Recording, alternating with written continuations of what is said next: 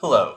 Today I'm demoing the AWS Security Hub integration with Amazon Macie to automatically ingest sensitive data findings for improved centralized security posture management.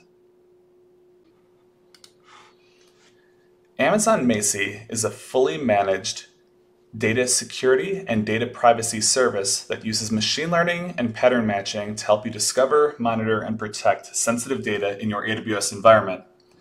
Macie automates the discovery of sensitive data, such as personally identifiable information and financial data, to provide you with a better understanding of the data that your organization stores in Amazon Simple Storage Service.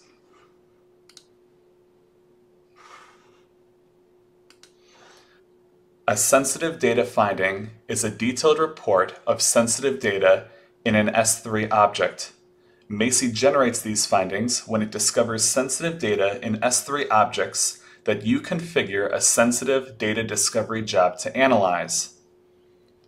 With Security Hub, you now have a single place that aggregates, organizes, and prioritizes your security alerts or findings from multiple AWS sources including Amazon GuardDuty, Amazon Inspector, Amazon Macie, IAM Access Analyzer, as well as from other AWS services and APN solutions.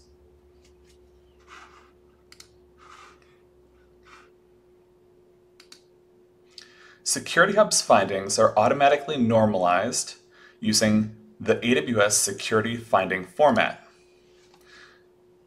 This enables you to more easily search, correlate, and operationalize findings. To get started ingesting sensitive data findings in Security Hub, visit the Settings page in the Amazon Macie console.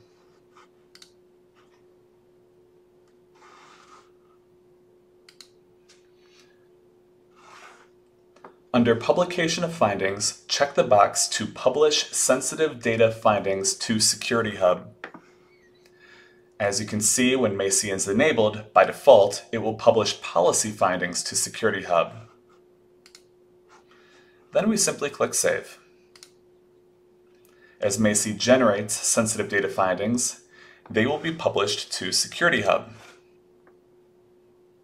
If you want to see a filtered list of the findings that Amazon Macie publishes to Security Hub, visit the Security Hub summary page, scroll down to the bottom of the page, and you can see the latest findings from AWS integrations, including Amazon Macie.